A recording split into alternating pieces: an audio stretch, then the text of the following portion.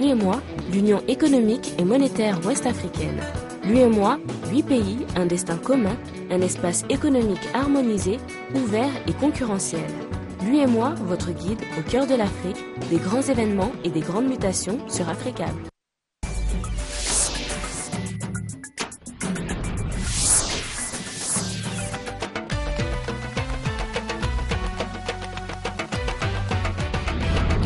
C'est un plaisir de vous retrouver pour le rendez-vous de l'information sur Africable. Voici les titres de cette édition. Cela fait aujourd'hui six mois que plus de 200 jeunes filles ont été enlevées par Boko Haram. Aucune information concrète sur ce qu'elles deviennent, mais la mobilisation ne faiblit pas. Le personnel de santé au Libéria est en grève depuis hier. Ils ont décidé d'un arrêt de travail faute du non-paiement de primes de risque dans la prise en charge des patients atteints d'Ebola. Et mardi sport ce soir consacré à la quatrième journée des éliminatoires de la Cannes 2015. Les détails, ce sera en fin de journal avec Yakuba Dansoko. Mesdames, Messieurs, bonsoir et bienvenue. Nous ouvrons cette édition sur le Sénégal. 150 millions, c'est le montant de l'enveloppe dégagée par la coopération japonaise au Sénégal pour assurer le suivi du projet d'aménagement des pépinières forestières dans les régions de Fatick et de Kaolack. Les travaux débuteront en 2015. Une cérémonie de signature de ce partenariat entre le Sénégal et le Japon a eu lieu dans les locaux de la coopération japonaise à Dakar.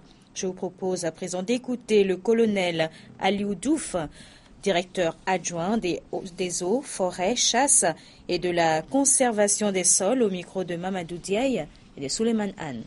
L'impact euh, peut être de plusieurs natures. Hein. Tout à l'heure, dans mon discours, j'ai parlé des aspects culturels, mais j'ai parlé aussi des aspects environnementaux. Sur le plan environnemental d'abord, vous savez, pour que les arbres existent, il faut qu'elles germent d'abord d'une graine, qu'elles croissent, qu'on les élève, donc euh, qu'elles puissent grandir pour donner tout ce qu'on tire de l'arbre et que vous connaissez. Fruits, bois, feuillages, racines et tout. Donc ça, c'est vraiment déjà des avantages que nous tirons, nous tirons de ce projet. L'impact sera très important du point de vue environnemental, sans compter maintenant tout ce qui est régulation du climat. L'arbre, vous savez ce que ça joue comme rôle dans la régulation du climat, dans la culture et tout ce qui est lié donc à l'environnement, l'oxygène, la santé, ainsi de suite. Les impacts sont très très importants du point de vue environnement. Parce que dès que ces pépinières seront restaurées, cela permettra de produire des plants de qualité. Et qui dit plan de qualité dit un taux de réussite avoisinant 100%. La célébration de la journée mondiale de la sécurité routière, c'était ce lundi.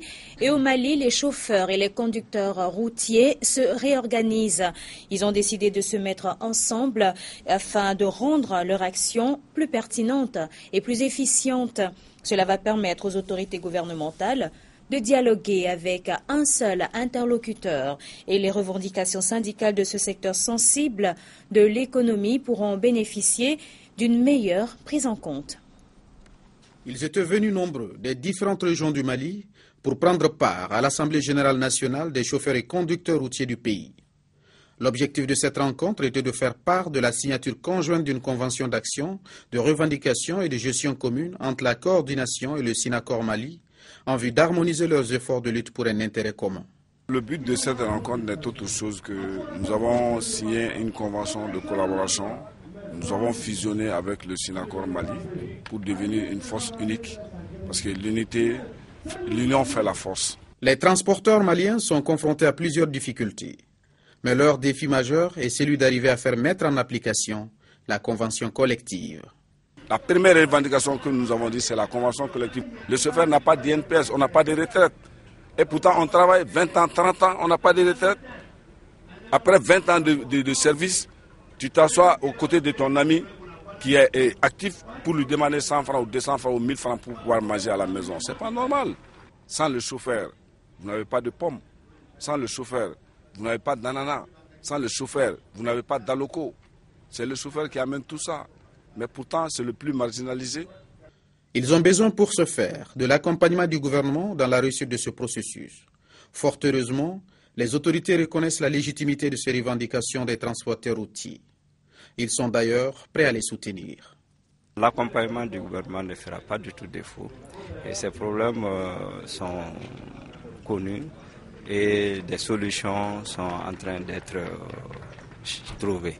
Selon le secrétaire général de la coordination, les chauffeurs et les conducteurs routiers sont situés au début et à la fin de tout processus de développement. À ce fait, le souhait des travailleurs de ce secteur est que le respect qui leur est dû leur soit accordé, que ce soit au Mali, mais aussi hors du pays. Cela fait aujourd'hui six mois, jour pour jour, que les adolescentes, euh, près de plus de 200 jeunes filles, ont été enlevées à Chibok par le groupe Boko Haram. La mobilisation ne faiblit pas et ce mardi, encore, une manifestation est organisée pour leur rendre hommage. Où sont ces jeunes filles? Le 14 avril dernier, environ 270 d'entre elles, âgées de 13 à 20 ans, sont capturées dans leur lycée du nord du Nigeria. Comme le montre cette vidéo, elles sont forcées de se convertir à l'islam et peut-être de se marier à des combattants de Boko Haram.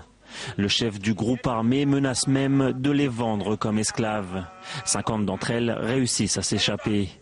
Cela fait six mois que les jeunes femmes ont disparu. Beaucoup craignent pour leur état physique et psychologique.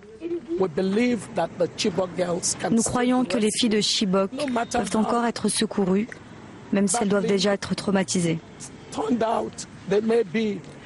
Au mois de mai, le groupe islamiste a proposé au gouvernement un échange de prisonniers refusé par l'exécutif nigérian. Le président Goodluck Jonathan fait l'objet de nombreuses critiques pour la manière dont il gère cette crise. D'autant plus que les autorités ne parviennent pas à endiguer la menace Boko Haram. Fin septembre, l'armée nigériane annonçait la mort de son chef.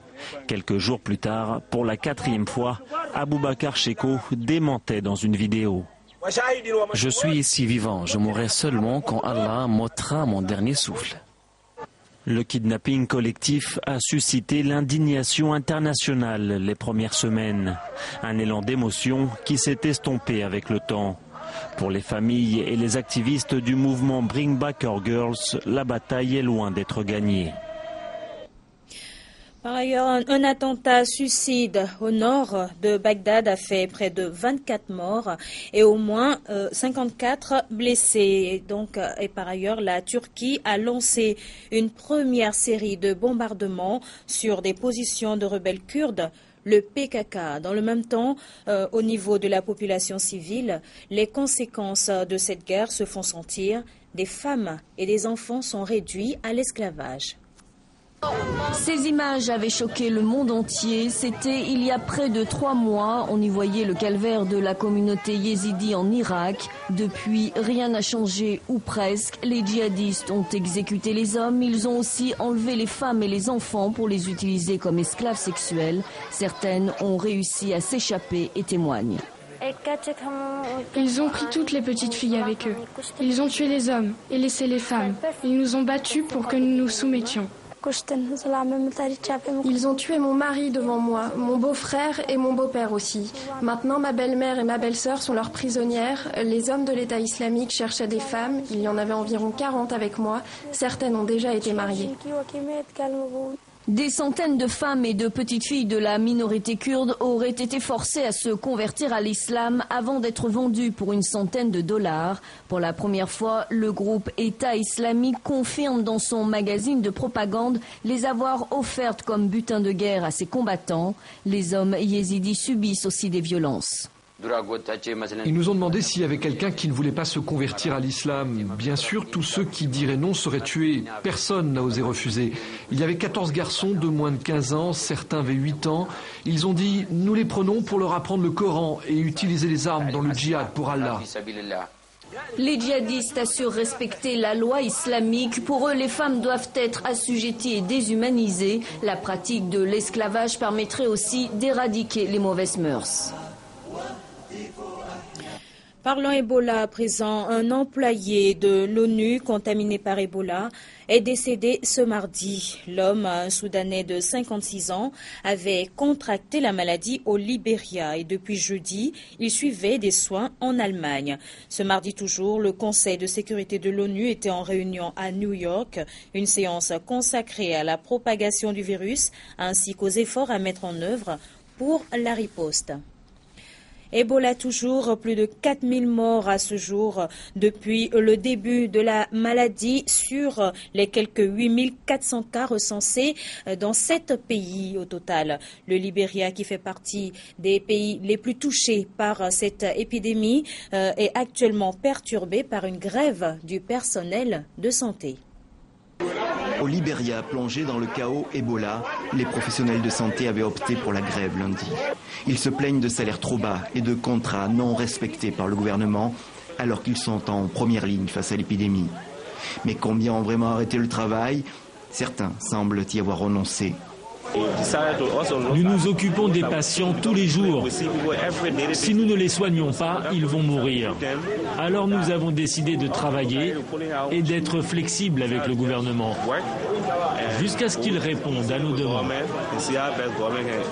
Ce mardi, le gouvernement menace de licencier les grévistes. Le Libéria paye le plus lourd tribut à l'épidémie qui frappe l'Afrique de l'Ouest. 2300 morts sur les 4000 enregistrés dans la région et parmi eux 95 soignants. La Sierra Leone voisine est l'autre grand pays victime de la crise. Ici aussi, les besoins excèdent les moyens déjà mis en place. La mobilisation internationale est déclenchée, mais sur le terrain, elle reste à construire. C'est une crise sanitaire qui est très complexe, qui va bien au-delà de la lutte contre les conséquences en termes de santé.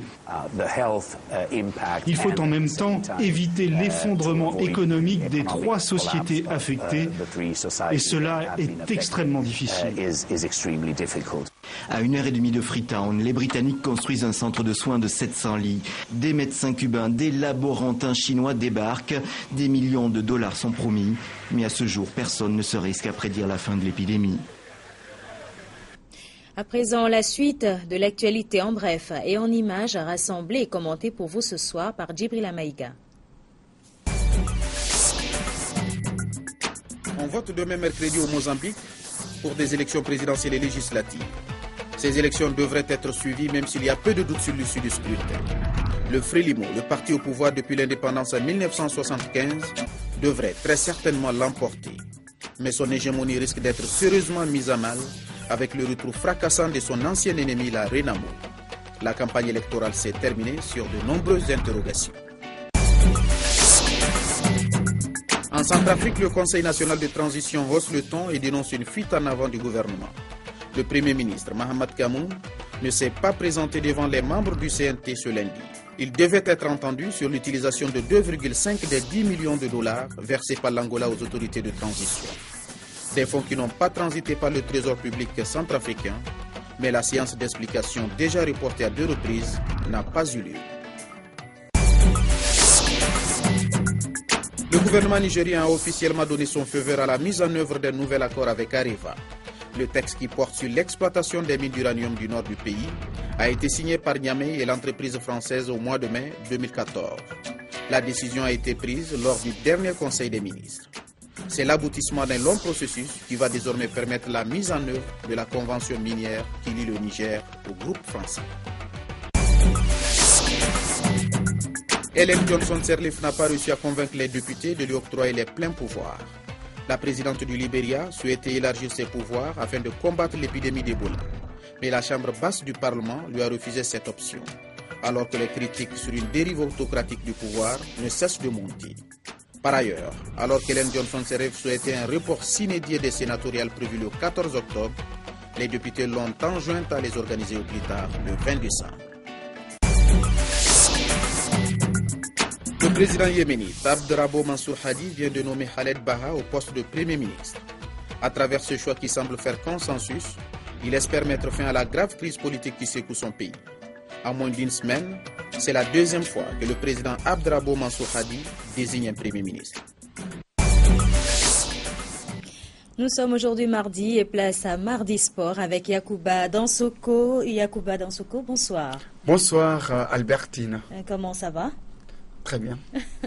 Alors l'actualité sportive est dominée sur le continent par les matchs de la quatrième journée des éliminatoires de la Cannes 2015 et à Abidjan il y aura un explosif Côte d'Ivoire RDC. Le match euh, d'ailleurs euh, le plus attendu euh, au compte de cette quatrième journée qui marque d'ailleurs la phase de retour dans ces éliminatoires pour la Cannes 2015 qui aura lieu donc en terre marocaine. Les Ivoiriens qui ont effectué ce mardi leur dernière séance euh, d'entraînement. Voilà, c'était au camp, donc, euh, au complexe sportif des éléphants du côté donc de Benjerville. C'est difficile dans l'ensemble parce que forcément sur, un terrain synthétique c'est pas c'est pas pas du tout évident. Mais bon, on, a, on, a, on a mis les chances de, notre côté pour pouvoir remporter cette victoire, ce match. Et voilà, ça nous a sauvés. Le plus important, c'est déjà mercredi qui, vient. Il faut absolument gagner pour pouvoir avancer au niveau du classement. Un bon dur pour pouvoir, pour pouvoir reprendre encore la confiance des supporters. Je pense que ça va prendre du temps. Mais nous, on se met au travail. Mais quand même, je pense qu'à travers moi et le capitaine, on demande qu'à ce qu'ils viennent nous soutenir à, chaque match qu'on jouera en Côte d'Ivoire. C'est un bon résultat pour le collectif parce que voilà, on avait besoin d'un match de repère. Je pense qu'on l'a fait au Congo. C'était très difficile devant un public difficile, c'est une période très difficile, mais comme je l'ai dit, il faut rester concentré euh, et puis voilà, essayer de, confirmer ça ce, mercredi. On essaie d'abord de bien récupérer. Aujourd'hui, on a bien travaillé. Maintenant, on va essayer de faire la vidéo avec le coach, comme il l'a dit. Essayer de, de travailler sur certaines choses. C'est vrai qu'on n'est pas encore parfait. Euh, le, groupe, le groupe est très jeune. On essaie de, de se battre tous ensemble. Maintenant, voilà, les 11 qui vont être alignés avec le reste du groupe. On essaie d'avoir un même objectif, d'essayer de, confirmer le match qu'on a eu au, Congo. Je crois que notre temps faible était premier, je crois, dans les 20-30 premières minutes. Oui, c'est vrai, on a peu tuer le match, on a eu le penalty. Bon, il y a un peu de malchance. Là, le gardien a bien joué, Boni, après Boni se rattrape. Après, on a eu pas mal d'occasions derrière. Mais bon, ça fait partie du jeu, je crois. Et je crois que le plus important, c'était avoir un bloc assez important. Et je crois qu'aujourd'hui, euh, quand on regarde la défense, que ce soit Franck, Vira, Copa, ils étaient magnifiques. Je crois que c'est la défense qu'il faut, voilà, faut, faut beaucoup remercier parce que défensivement on était très constant. C'est vrai qu'aujourd'hui euh, l'équipe est en pleine reconstruction et je crois qu'aujourd'hui nos supporters doivent comprendre que bon voilà les choses se prennent avec patience et surtout qu'on a beaucoup beaucoup de jeunes comme ça qui arrivent en sélection. Quand on est ensemble, ils posent pas mal de questions et parmi eux il y en a beaucoup qui ont vécu tout le temps en Europe et bon voilà ils viennent défendre les, les, couleurs du pays. C'est avec plaisir, joie et cette bon ils en ont besoin surtout surtout de, voilà, de, l'appui du, public. Dans ces genres de compétitions, je crois que le public fait toujours la différence. Au Mali, le, le euh, à Bamako, pardon, le Mali en découdra avec l'Éthiopie. Oui, les aigles qui vont devoir faire sans leur capitaine Sidou Keita, blessé au Mali. Le joueur de l'ES Roma reste tout de même confiant quant à une euh, probable qualification d'Est. Donc, euh, ce mercredi face au Walia d'Éthiopie. Vous savez, on joue au football pour gagner et quand on gagne, l'état d'esprit est très bien. Il y a la confiance, il y a la joie. Et donc il faut, il faut vraiment confirmer sur, ce match-là. Je pense que le public est content, le peuple malien est content, le fait de gagner à l'extérieur. Et, certainement ils vont, ils vont sortir massivement pour, euh, Inch'Allah, aller assister à, une autre victoire euh, au 26 mars, le mercredi prochain. Yacouba, un clin d'œil sur les différentes affiches de ce mercredi 15 octobre. Dans le groupe A, il y aura donc Nigeria, Soudan, prévu à 16h, Afrique du Sud, Congo à 18h05. Dans le groupe B, le Mali jouera contre l'Éthiopie, l'Algérie sera face au Malawi. Dans le groupe C, il y aura Burkina Faso, Gabon, Angola, Lesotho, groupe D, Côte d'Ivoire, RD Congo, Cameroun, Sierra Leone, groupe E, Ghana, Guinée, Conakry, Togo, Ouganda, groupe F, Zambie, Niger, Cap-Vert, Mozambique, groupe G, Tunisie, Sénégal, voilà, c'est à 19h15 GMT, et puis Égypte, Botswana à 17h temps universel. Merci. Eh bien, quels sont les prochains rendez-vous sportifs sur Africable Télévision? Tout à l'heure, à 22h15, nous serons en compagnie de nos téléspectateurs dans l'émission Shoot, une émission 100% football.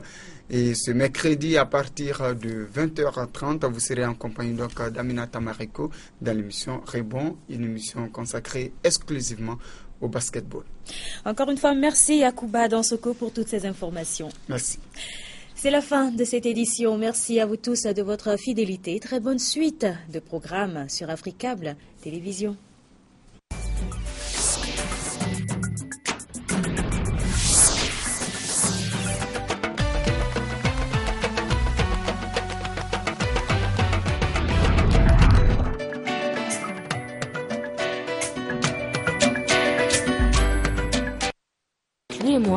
l'Union économique et monétaire ouest-africaine. Lui et moi, huit pays, un destin commun, un espace économique harmonisé, ouvert et concurrentiel. Lui et moi, votre guide au cœur de l'Afrique, des grands événements et des grandes mutations sur Africa.